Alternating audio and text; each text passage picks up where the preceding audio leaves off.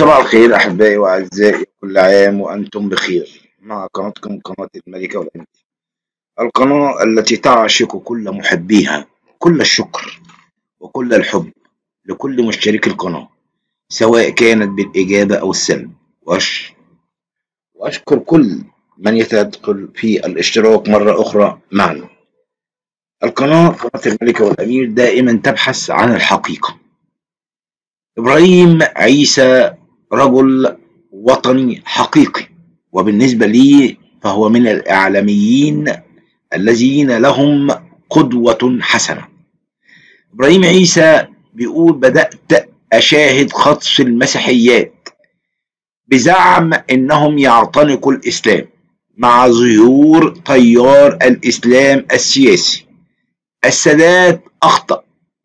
قال الإعلامي إبراهيم عيسى استهدف الإخوان والسلفيين والجماعات الإسلامية المسيحيين في مصر وتحديدا المرأة القبطية المسيحية. وأكد عيسى خلال تقديم برنامج حديث القاهرة المذاع عبر فضائية القاهرة والناس أن الرئيس الراحل محمد أنور السادات ارتكب خطيئة تاريخية بقراره بعودة الإخوان المسلمين للمشهد السياسي حيث أراد السادات من الجماعة أن تحارب التيار اليساري.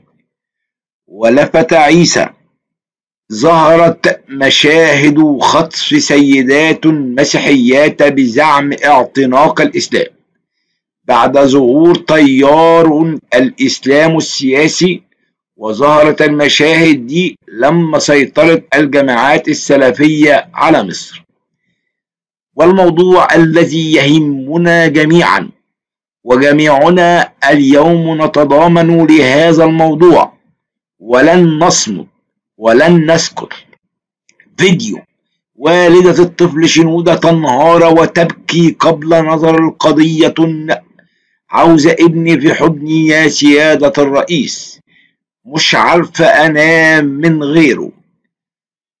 أولا قالت السيدة أمال ميخائيل والدة الطفل شنودة بالتبني في إطار نظر قضية الطفل اليوم السبت 18 3 من المستحيل أن يوفر الملجأ ما توفره الأسرة للطفل من رعاية جيدة.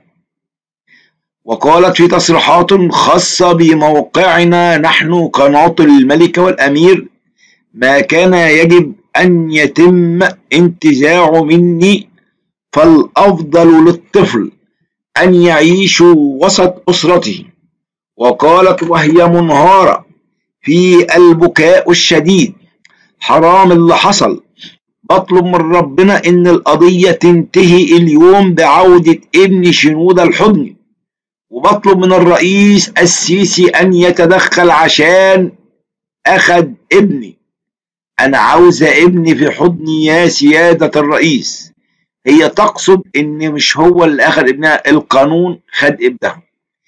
مش عارفة أنام وهو بعيد عني. صدقني نفسي ابني يبقى في حضني ومش عاوزة أي حاجة تاني.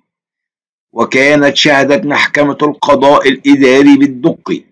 صراخ وعويل السيدة أمال ميخائيل والدة شنودة الطفل بالتبني وبكاء زوجها بمرارة حيث قررت المحكمة تأجيل القضية لليوم 18 مارس وشغلت قضية الطفل شنودة الرأي العام في مصر وفي الخارج.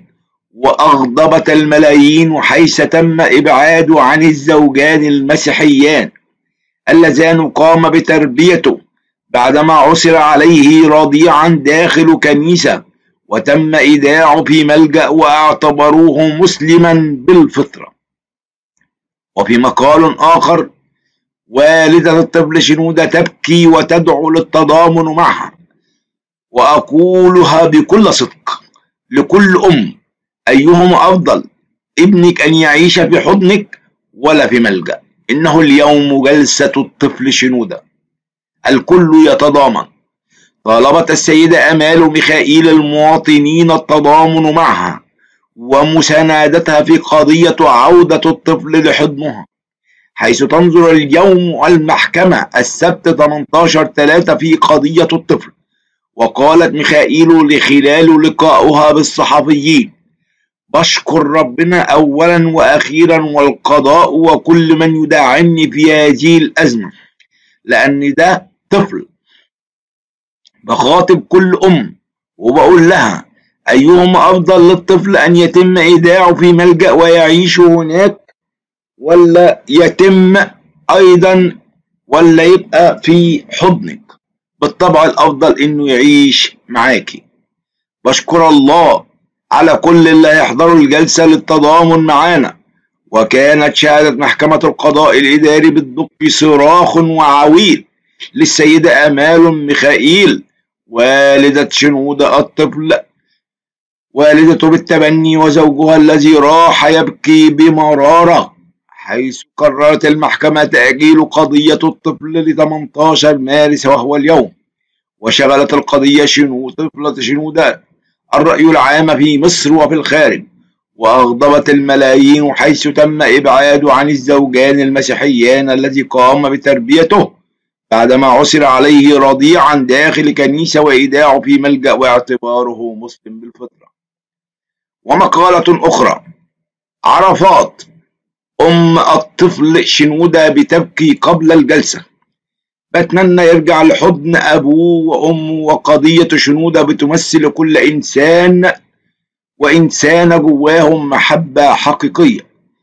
قال الكاتب الليبرالي أحمد عرفات لسه شايف من شوية فيديو بس مباشر لأم الطفل شنودة وهي بتبكي قبل الجلسة وبتتمنى من كل الناس الدعم ولو بكلمة.